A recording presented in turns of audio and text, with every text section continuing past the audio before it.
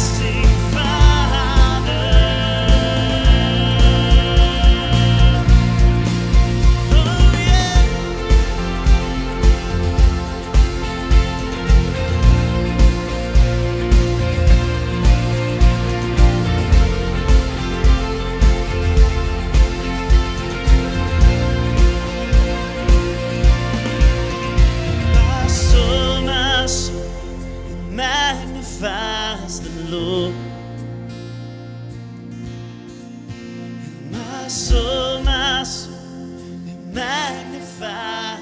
Lord.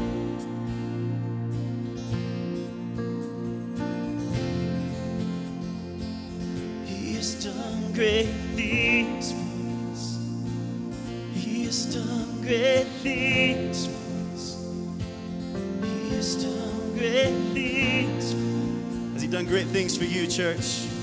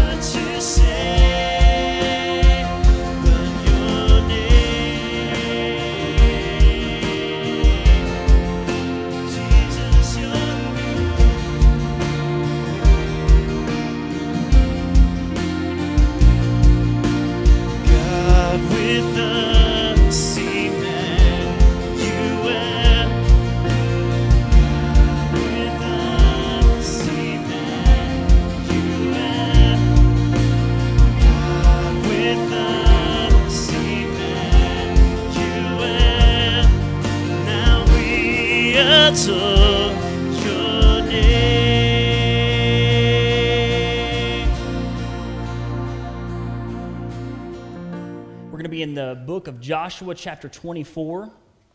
Um, and before we get started, I just wanted to kind of reflect on this past week. Most of you know uh, this past week we had a revival service uh, from last Sunday morning all the way through Wednesday night. And if you missed it, you missed um, a great opportunity for God to work in your life and begin to revive you. And, and as I begin to reflect on what it really means to be revived, you begin to realize that it has to do with reviving uh, what God once had for you. You know, what's, what's once you had experienced, that fire and that passion that you had, the direction you had from God, you, you'd kind of let it fall away and reviving that uh, back to the Lord where it once was um, and where God wants you with that. And I believe this text today, as we walk through this, is a form of revival. Um, in their instance, it's going to be a covenant renewal or a recommitment to something in which they had committed to before, but they had fallen away from. And uh, this text just really speaks directly to that. And so, my hope is, is that we will respond today, as Israel responded at that time, as a recommitment to the Lord today to serve Him and serve Him only. And so, if you'll stand with me uh, for the reading of God's Word, again, Joshua chapter 24. And here's the thing I'm going to read as fast as I can. I'm going to be covering 28 verses. But here's what I know when we stand to honor God's Word, we honor the God who wrote this through the writer. And it's an opportunity for us to experience what God has for us. And so if you found your place, say amen. All right, Joshua chapter 24, verse 1 says this It says, Then Joshua gathered all the tribes of Israel to Shechem and called them, uh, called for their elders of Israel, for their heads, for their judges, and for their officers. They presented themselves before God. And Joshua said to all the people, Thus says the Lord God of Israel, Your fathers, including Terah, the father of Abraham, and the father of Nahor, dwelt on, on the other side of the river in the old times, and they served other gods. Then I took your father Abraham from the other side of the river and led him throughout all the land of Canaan, and multiplied his descendants, and gave him Isaac. And to Isaac I gave Jacob and Esau, and to Esau I gave the mountains to Seir to possess. But Jacob, and his children went down to Egypt. Also, I sent Moses and Aaron, and I plagued Egypt according to what I did among them. Afterwards, I brought you out. And then I brought your fathers out of Egypt, and you came to the sea, and the Egyptians pursued your uh, fathers with chariots and horsemen to the Red Sea. So they cried out to the Lord, and he put darkness between you and the Egyptians, and brought the sea upon them and covered them. And your eyes saw what I did in Egypt. Then you dwelt in the wilderness a long time, and I brought you into the land of the Amorites, who dwelt on the other side of the Jordan, and they fought with you. But I gave them into your hand, that you might possess their land, and I destroyed them before you. Then Balak, the son of Zippor, king of Moab, arose to make war against Israel, and sent and called Balaam, the son of Beor, to curse you. But I would not listen to Balaam. Therefore he continued to bless you, so I delivered you out of his hand. Then you went over to the Jordan and came to Jericho, and the men of Jericho fought against you. Also the Amorites, the Perizzites, the Canaanites, the Hittites, the Gersh Gashites, the Hivites, and Jebusites. But I delivered them into your hands. I sent the hornet before you, which drove them out before, from before you. Also the two kings of the Amorites, but not with your sword or with your bow. I have given you a land for which you did not labor, and the cities which you did not build, and dwell in them. You eat of the vineyards and olive groves which you did not plant. Now, therefore, fear the Lord.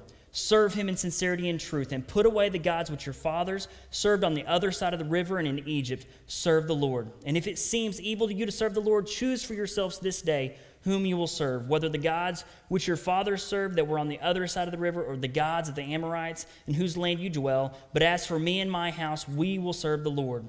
So the people answered and said, Far be it from us that we should forsake the Lord to serve other gods, for the Lord our God is he who brought us out and our fathers up out of the land of Egypt, from the house of bondage, who did those great signs in our sight and preserved us in all the way we went and among all the people through whom we passed. And the Lord drove out before us all the people, including the Amorites who dwelt in that land.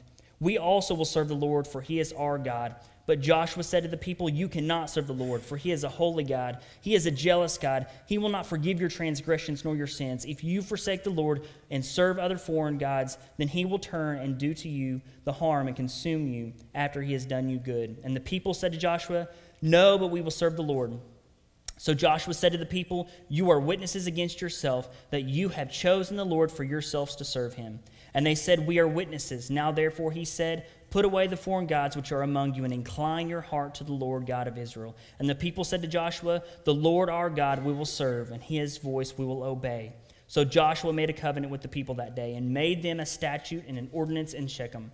Then Joshua wrote these words in the book of the law of God and took a large stone and set it up there under the oak that was by the sanctuary of the Lord. And Joshua said to the people, Behold, this stone shall be a witness to us, for it has heard all the words the Lord has spoke to us. It shall therefore be a witness to you, lest you deny your God. So Joshua let the people depart, each to his own inheritance. So let's pray. Lord Jesus, we ask, Lord, that you allow your word, Lord, to ring true in our ears and draw us to uh, a point today, Lord, to to make the decision, Lord, to who we serve.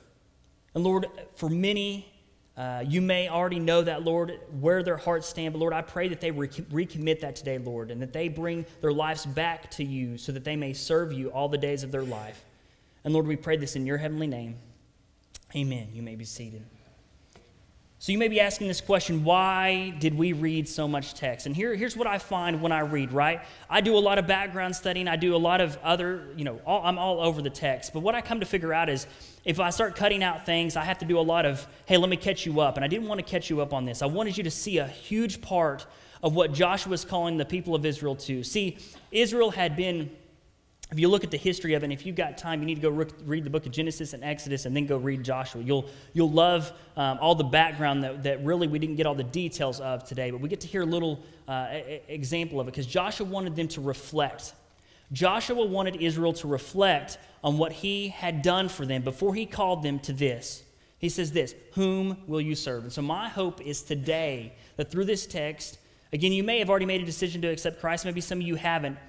But this is called a recommitment. This is a recommitment to the covenant in which they originally had. And I think many of us may have fallen away from that original commitment we made to the Lord when we surrendered our lives to Him.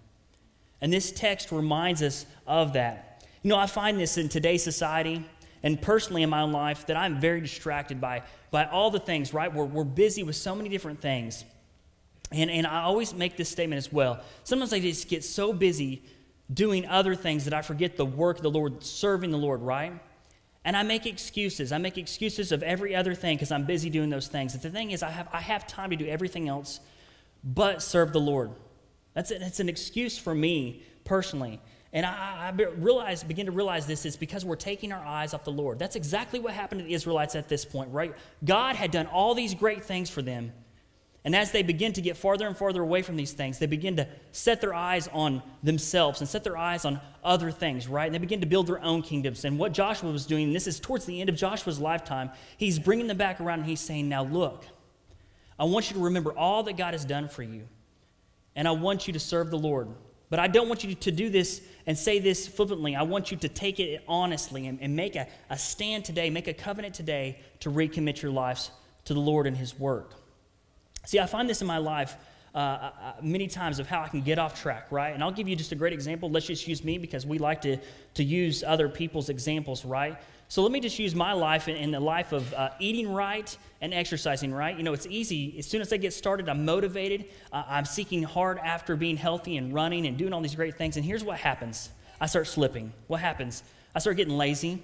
Uh, I start eating that cupcake. I start sleeping in, right? And it's, and it's slow over time, right? And I start realizing I'm adding a few pounds. And, well, you know, that's okay. It's okay. I'm going to get right back on track. And, well, then all of a sudden my pants don't fit. And that's an honest thing that happens too many times, right? Your pants don't fit, and you're like, well, I'll just get newer ones, and it's okay. I'll ignore it a little bit longer. And here's what we do we start saying it's okay. We make excuses. It's only one day, it's only one week, it's only one sin. And then before we know it, it seems like our life is so far from the Lord, and we begin to wonder what happened. And here's what happens we end up living in that and thinking, you know what? Well, at least I know I'm saved. Um, and, you know, I guess this is just the condition that I'm in. And we just begin to living with that. And here, here's usually what happens to draw us back to the Lord. Something tragic, tragic's got to happen. Something tragic's got to happen in order to bring us back to the Lord. I find that in our Christian walk. I don't know if you think about this. You know, you begin to pursue the Lord. You, you have this relationship with the Lord. You remember all that God's done for you. He's forgiven your sins. And you live for Him, right? And then it starts happening, right? You start making poor decisions. You start uh, compromising in areas of your life, right? And as you begin to do that, you start making excuses, right? It's just excuses for this or that. And then as you begin to realize that you've fallen away and life's starting to fall apart, you're starting to wonder what's going on. And you begin to live in that and saying, maybe this is just what I'm going to do. I'm going to live in this, this uh, condition that I'm in. But here's what God's saying He's calling us to recommit. And, and what we're going to learn today, uh, and I'm hoping we have enough time to get to this point, but I want you to understand this is that it doesn't take something tragic, it doesn't take Joshua calling us to this point to recommit. It is a daily walk with Christ that should be the recommitment that you need. See, these people had fallen away from a time. Uh, and here's the thing they're going to be constantly called back. We're gonna, if you go into the book of Judges, here's what happens they fall away, the Lord brings wrath. He brings a judge, draws them back, they repent, and they, they, they, they end up doing it again and again and again. You'll find that in life. So you ask that question is that what has to be in our life? Do we have to be that way? Here's Joshua's life is proof that is not how we have to be. Joshua understood here's what kept him strong all the days of his life leading a godly example. In the first book of uh, uh, Joshua, it talks about how the Lord said, You need to hide God's word in your heart. He, you need to put the book of the law in your heart, and you need to meditate on, on it daily. That, I believe, that personal daily relationship with God is what kept him on the right track without falling away and needing these times. He recommitted every day in this. And so today I'm hoping we're going to use this scripture. So let's talk about the first thing that Joshua uses to help them understand whom they should serve. And I'm hoping that, again, Joshua's story resonates in our life. He uses, again, their past blessings, Israel's past blessings in these first 13 verses. See, again, Joshua's at the end of his life, and he wants to make sure before he leaves that they are committed to the Lord. And before he makes this uh, commitment, he begins to review their history. And I, have heard this statement uh, by A.T. Pierson that says this History is his story. I hope you get that. History is his story. So for the Israelites, their history was his story in their lives. Do you understand that, that your history is his story in your lives? And as you begin to understand that, that, God, that what Joshua is doing is reminding them all that God had done for them. And if you don't believe that God's done so much for you, you need to begin to stop Get rid of all the distractions and thank that all that God has done for you to get to you, you to the point of where you're at today with that.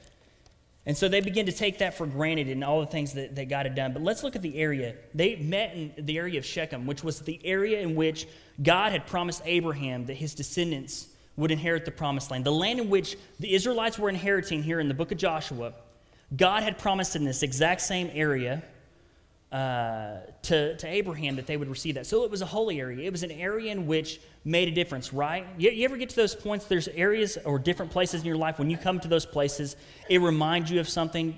Grandma's home, right? You would walk in, you'd smell grandma's cookies, whatever it is, and it would ref- cause you to reflect and bring back those memories. The same things happen in my life. I use this church as a great example of my, if you want to call it Shechem, uh, or, or a place in which I reflect, right? God has done so much in this church. I spent Tuesday, rather than sitting in my office, because here's the thing once I open the door of my office, it seems like I can't do anything but work. So I, I got away. And I came in here and I began to sit in the seats in which I started sitting in when I first came to Crescent Valley, when I started hearing the gospel and I was lost. And then I began to sit in the seats in which I responded to the gospel and I began to reflect on all that God has done for me and the places that God has called me to and, and changed my life. And as I began to reflect, I was just overwhelmed with all that God had done for me. That's exactly what Joshua is trying to do with this text. He's wanting to draw them in and help them see that reflecting is important. So here's what he did in the first four verses. He explained to Israel that God chose them. You know, Abraham and his family were idolaters. That's what it's saying here in the first four verses. It talks about whenever God went and called Abraham, he chose him. You know that Abraham didn't seek the Lord, but the Lord sought him.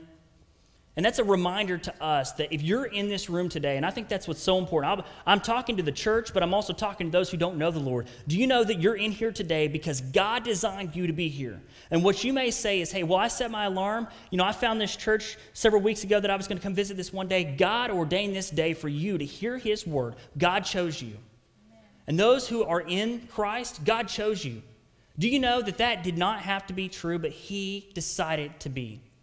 And that, by reflecting on that, that should bring you to an all moment. That should bring you to an all moment of understanding the Lord chose you. The Lord chose Israel. And in, in understanding that, that you didn't choose him, I think that helps us understand how much of a blessing it is to know the Lord. If we go on from there in verses 5 through 7, it talks about that God delivered Israel, right? God delivered Israel. He talks about here in verses 5 through 7 about how uh, he had sent uh, Joshua um, to Egypt to save them from a famine, right? Here's what Egypt does to repay them they enslave them. But then God doesn't forget them. He sends now Moses uh, and uh, actually Aaron, and then he takes them out of Egypt. And so God delivered Israel. So he's reminding how much he had delivered them from all these things. And so it's important for us to be reminded, those who have accepted Christ, to be reminded the bondage that you were given or that you were taken out of, right? Before Christ, you were dead in your sins. Before Christ, you were heading for destruction. And you may not understand that fully, but I'll explain this. A life without Christ is a life that is confusing.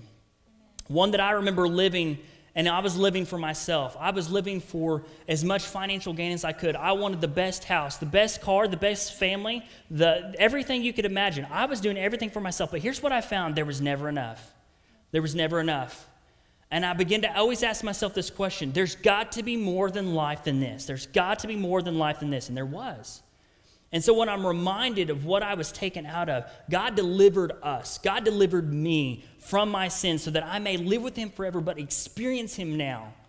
And this is exactly what Joshua is drawing the Israelites to, and he's wanting us to draw into. When we say, Who are we serving? We're the ones that are serving the God that chose us and the God that delivered us from our sins. But he goes on and he, he's, he's not done. This is he, he's constantly reminding them of different things. See, God guided Israel in verses 8 through 10. God guided Israel. He brought him out of the land, uh, into the land of the Amorites. This is after they had crossed the Jordan. And this is when Joshua takes over, right? This is a land that wasn't there, but theirs, but God began to allow uh, and go before them and help possess this land which he had promised them back to Abraham. He guided them through Joshua.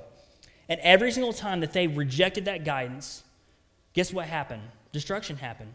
There was things that happened where when they began to disobey the Lord, that he would not give them the land. They would lose their battles. And it wasn't because of how good of an army they were, but it's because how good of a God he was to go before them and pave the way. So he guided them to this promised land. The last thing he did in verses 11 through 13 is he gave them their land. I'm going to read these verses, 11 through 13 again.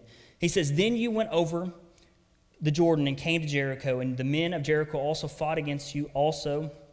And I'm not going to read them all, but all these different um, people. And he says, But I delivered them into your hand, and I sent the hornet before you, and drove them out before you also, and the two kings of the Amorites, but not with your sword or with your bow. And he's, this is what he's reminding me. I, I did this the other day. I walked through in these first 13 verses and underlined the word I. Joshua is speaking for God. I underlined all the words I. And every single one of these is the Lord saying this I've done this for you. I've done this for you. I've done this for you. If you want to choose whom you'll serve today, I've done all these things for you. You are nothing without me. Amen. And for some of us, that may not sit well because we're independent, right? I, I'm that type of person, right? I'm prideful. I want to do things myself. I'm a man, right? But here's what God reminds us we are nothing, absolutely nothing without them, without Him. And that's what the Israelites have to rem- remember. The land in which they are, have already inhabited, that the Lord went before them and done all these amazing things. Every bit of it is there because God did it, not because they did it.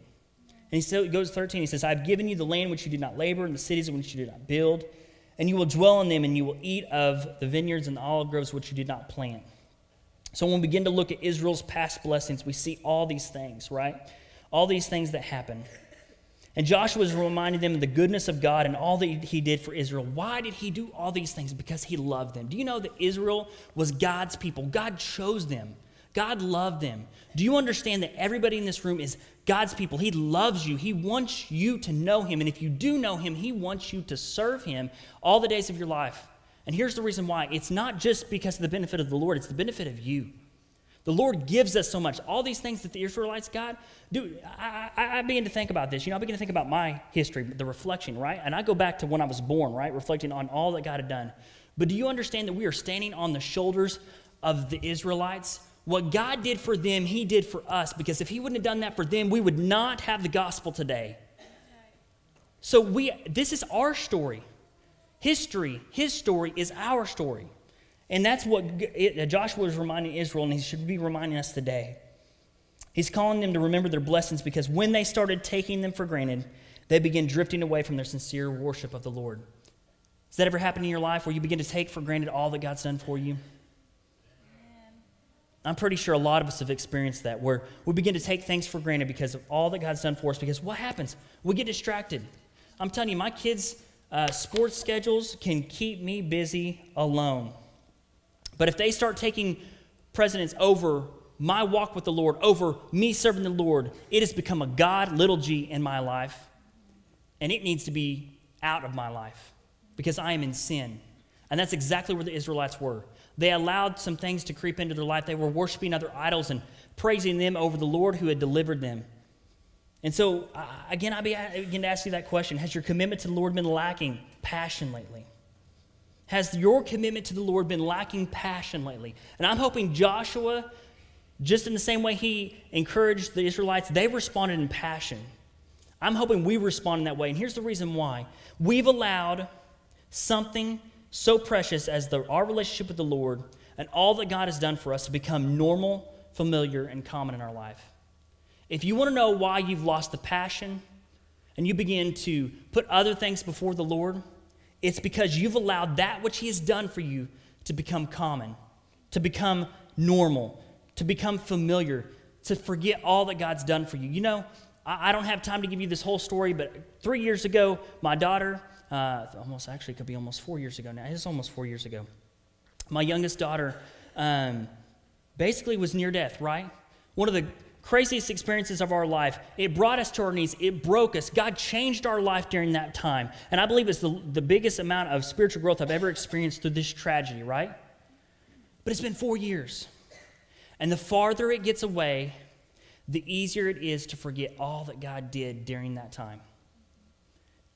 Reflection is important.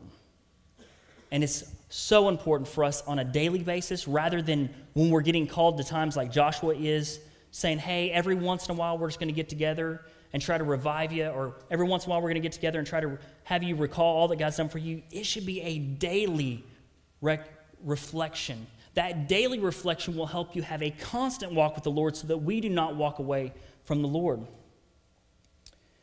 So let me walk through this. God chose you. God delivered you from your past. God has guided you to this point, He has given you everything you have. And that's why I asked that question. Have you been taking God's blessings for granted? Have you been serving the Lord the way that you should?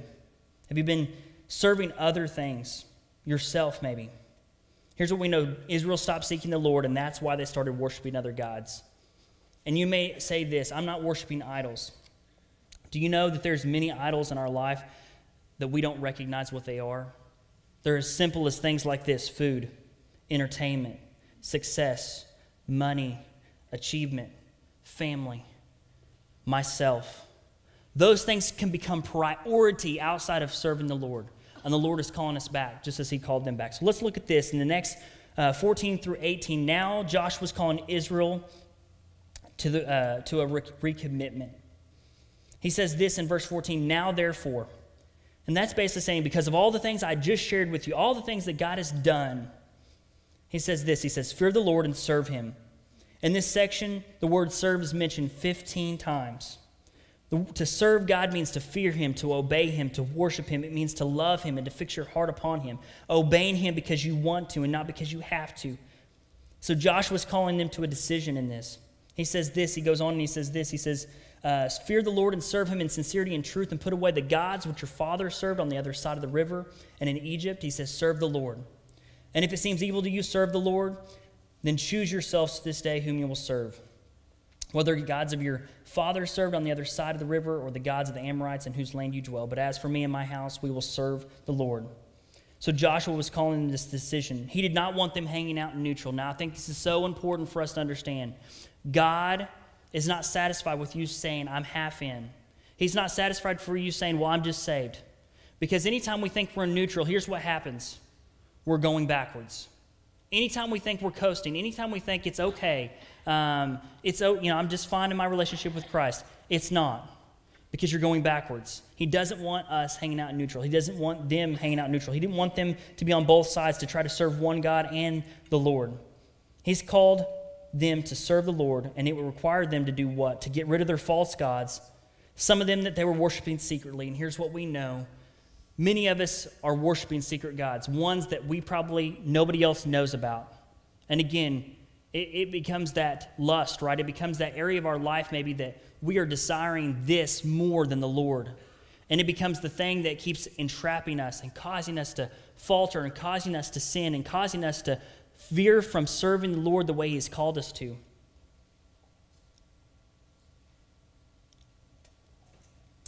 And after you begin to think about this, after he had asked them to do this, you, you, begin to reflect and see all that God did for them. And you would ask maybe this question How could, after God did all that for them, right in front of them, again, we're talking about an active God that constantly went in these battles before them and defeated people, how could they serve other gods?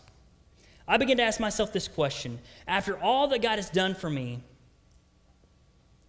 how could I choose something else outside of serving the Lord? And it happens. And it happens. And then I begin to wonder what, what, what, happened? How did I get to that point? How did I get so far away from the Lord? And, and here's the thing it happens just like I'm talking about with my weight gain, one pound at a time. You start slowly drifting. And you, you keep making excuses, you start slowly drifting. You start making excuses, you start looking back, and you begin to serve some other form of God outside of the one true God because you have just been so distracted by the world and those things around you. And so I think it's important here that we look this that Joshua wasn't suggesting that they could choose other gods. He wasn't even thinking that they would consider other gods. Here's what he was saying You've got to make a stand now. He understood that he had given such a, a uh, bold statement of all that God had done them. There was nobody else that they would want to serve but the Lord. But he was asking them, they needed to decide. You cannot be lukewarm. You cannot put one foot in the world and one foot in serving the Lord. You have to serve the Lord with all your heart, mind, and soul. He knew that they would worship something, and if you don't believe it, you're worshiping something. Even if you today came in here and said this, if you today came in and said, you know what, I don't believe in this religion thing, I'm just here because a friend invited me, do you know that you're still worshiping something? You're worshiping your job. You're probably trying to get as far advanced in your job, and that consumes you. And you work 60 and 70 hour days just so you can get further in your job. You're worshiping your family because all you do is care about your family and you don't think about anybody else and you put your family first over everything. Why? Well, I mean, that's a great excuse, right? That I put my family first. Here's the thing God wants you to put your family uh, and, and ser- serve them and love them, but they should never take precedence over serving the Lord. You begin to look at other areas that people are putting before the Lord. Maybe it's um, maybe it's your your uh, sexual life. That's one nobody likes to talk about, right? Maybe it's porn. Maybe it's uh, uh, sexual immorality. Maybe it's uh, premarital sex, and that's one that we kind of try to disregard. Well, as long as I get married after, is that okay? As long as I mean, we're, we're right now we're going to get married. Isn't premarital? I mean, doesn't God just already you know? No, God's here saying this. That's sin. And that's separating you from the Lord from a relationship that He has for you to serve the Lord. It is a hindrance in your life. And He's saying this choose today to recommit your lives and get rid of that stuff and serve me. Matthew 6 24 says this it says, No one can serve two masters, for either he has to hate one and love the other, or else he will be loyal to one and despise the other. You cannot serve God and mammon. So that's just a reminder that we cannot serve both God and the other things in our life that we uh, distract us from serving the Lord. I think this is so important for us not to miss, and I'm going to speak directly to the men in this. Joshua led the charge to serve the Lord. He says this He says, But as for me and my house, we will serve the Lord. And men, here's the truth if you will serve the Lord, your family will follow. But if your wife or your kids are leading the charge and you're sitting there, uh, sitting in neutral, you are um, leading destruction. I'm telling you, I'm seeing too many kids that end up graduating out of high school. They, you brought them to church, you brought them to church. They get out of high school, and guess what? They go off crazy. Why? The parents stayed home. The parents weren't hardly here. The parents never were the godly example in their life. Joshua says this He says, As for me and my house, I'll speak for all of them. We will serve the Lord. They're the head of the example in this. God's calling us to this. And let's read um, Joshua chapter 1. I want you to go back to Joshua chapter 1. I'm going to read the verse, first nine verses. And again, this is how Joshua sustained his relationship with the Lord, and he could stand there today uh, with them and say this to them. It says in Joshua chapter 1, it says, After the death of Moses, the servant of the Lord, it came to pass that the Lord spoke to Joshua, son of uh, Nun, uh, Moses' assistant, saying, Moses, my servant, is dead. Now therefore arise and go to the Jordan, and you and all the people to the land which I am giving you and the children of Israel. Every place the sole of your foot will tread upon, I will give to you, uh, or has been given to you as I said to Moses, from the wilderness of Lebanon to the far great river, the river of Euphrates, all the lands of the Hittites and the great sea towards the going down of the sun shall be your territory. No man shall be able to stand before you all the days of your life, as I was with Moses. So I will be with you. I will not leave you nor forsake you. Be strong and of good courage, for this people you shall divide as an inheritance the land which I swore to your fathers. Only be strong and very courageous, that you may observe to do according all of the law which the Moses my servant commanded you. Do not turn from the right or to the left, that you may prosper wherever you go. It says, The book, this book of the law shall not depart from your mouth, but you shall meditate on it day and night, that you should observe to do according to all that is written. For then you will make your way prosperous, and you have and uh, will have good success. He says, Have I not commanded you be strong of good courage? Do not be afraid and do not be dismayed. The Lord your God is with you wherever you go. So here's what we look at. Joshua was an example. He didn't let God's word um, out of his mouth. He understood that that was what sustained him. That's how he was able to lead this charge and saying, There's no other God I was willing to serve because of my relationship. And I believe exactly what happened to the Israelites is their relationship started to waver over time, right? After all that God had done, their relationship started waving, wavering. So we go in verses 16 through 18, and the Israelites assured Joshua they wanted to worship and serve the Lord, uh, basically saying this you, You've given us all this reminder how else could we not serve the Lord? And I begin to think about after that sales pitch, I think anybody would be crazy to say, no, after all you just said, nah, I don't want that God. Uh, and here's what Joshua understood he, he understood the plea that he gave them. And see, they responded quickly. And I want you to look at that in verse 18. And it says, uh, or excuse me, verse 16, it says, And the people answered and said, Far be it from us that we should forsake the Lord and serve other gods. For the Lord our God is he who brought us out of Egypt and the land. And then it goes down towards the end of the verse 18. We also will serve the Lord, for he is our God. And so again, they're, they're overly saying, Hey, after everything you said, we'd be crazy not to serve the Lord. But Joshua uh, challenges them a little bit more, and this is really where Israel's recommitment is, and this is where we're going to kind of try to land the plane as we, we close out. Israel's recommitment after he had reminded them of all the blessings that God had given them, after he had challenged them to recommitment, he was giving the charge of recommitment. Israel starts to recommit, but here's what happens in verse 19, which will cause some of you to pause, and it did me as well. It says, But Joshua said to the people, after they had said they would serve the Lord, Joshua said to the people, you cannot serve the Lord, for he is a holy God. He is a jealous God. He will not forgive your transgressions nor your sins. If you forsake the Lord and serve foreign gods, then he will turn and do you harm and consume you after he has done you good. Here's what he was saying to the Israelites count the cost. He says, I don't want you to commit to this and in two weeks turn, turn back away. And if you go back, and I don't have time to do this, you go back to the original Mosaic covenant the people came before the Lord, they made a covenant, and two weeks later, they made an idol to worship to. Joshua understood they needed to understand this wasn't something they could just say, Yeah, after what you said, we'll serve the Lord.